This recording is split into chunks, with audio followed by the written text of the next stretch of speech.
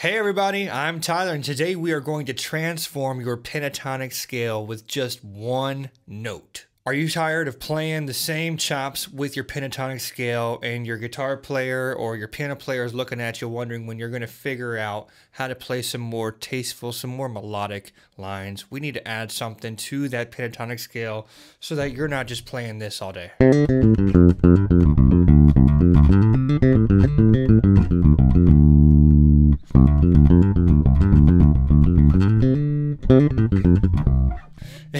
That's what your solos sound like, then this is the video for you. You're going to really get some useful information out of this one. We are going to be working with the minor pentatonic scale instead of the major pentatonic scale. So the minor pentatonic scale contains a 1. We're in the key of D for the purposes of this video. We're going to have our 1, which is a D. Then we're going to have our flat 3, which is an F. Now I'm saying flat three because we are basing these scale degrees off of the major scale, Ionian. So if this would be the major three, that's our flat three, okay? So we got our one, flat three, which is F, four is G, our five is A.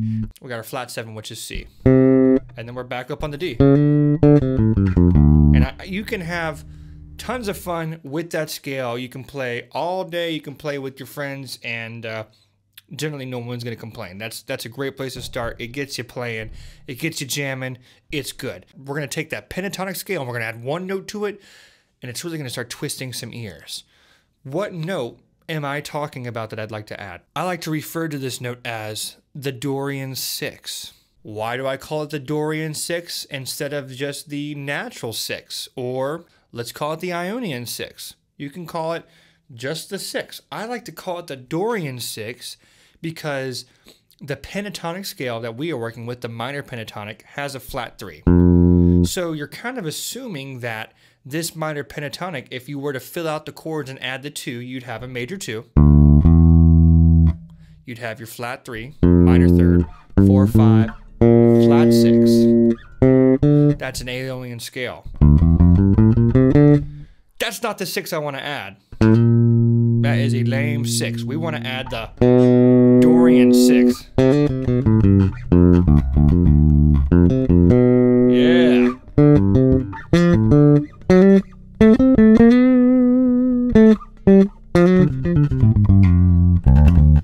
Dorian 6 is super, super groovy. It even though it's really, I would consider this an in sound. It's the first out sound that I started working with outside of my pentatonic scale. You've got this for months, years, maybe. And then when you start going.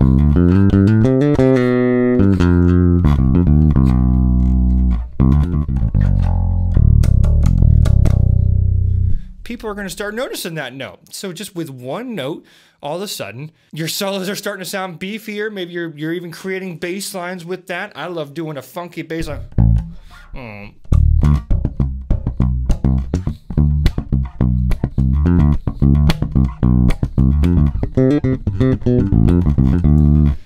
And, and, and it, it's just so damn groovy.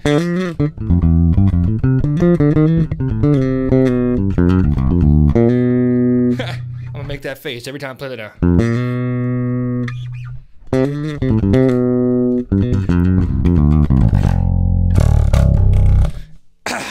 so, how to use the Dorian 6. It's there, and it's it just like with your pentatonic scale, you're probably gonna have some easy luck just kind of falling into some good habits with playing that note. Um, you really can't mess it up. Uh, you know if you've heard probably anybody speaking about half step resolution. So if you're gonna hit that Dorian 6, it's really nice to take that up to the flat 7 of D.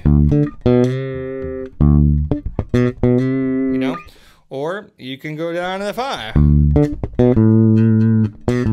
Now, I don't like that. Don't do that. That just sounds kind of like we're doing major pentatonic. I don't know. Anyways, that's not what we're doing. So I created a backing track now. I've only got Logic drum samples. Uh, currently, haven't bought any new drum samples, so bear with me if you absolutely hate the sound of this track that I created. I didn't spend a lot of time on it, but I'm going to put it in there and we are going to experiment with that sound a little bit so you can hear the full flavor.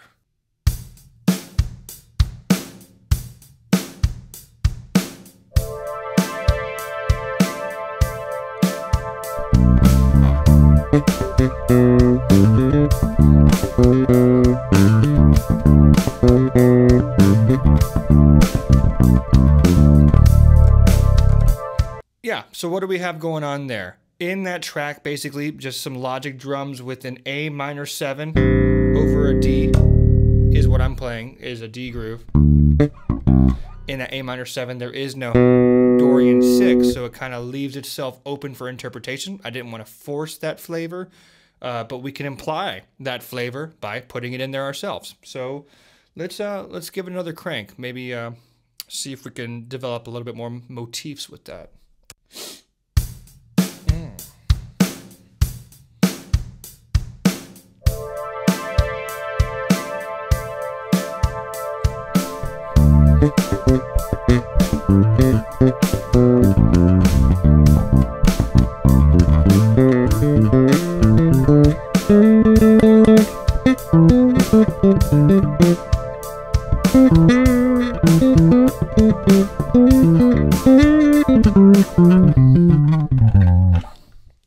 So just to recap, all we did today was take our minor pentatonic scale in D and we added the Dorian 6 as I like to call it. I call it the Dorian 6 because the minor pentatonic and the Dorian scale both share a flat 3 and the Dorian scale has this 6 which is different than the Aeolian scale, the natural minor scale, which has the flat 6. So try enjoying that natural sixth when you're playing in your next solo.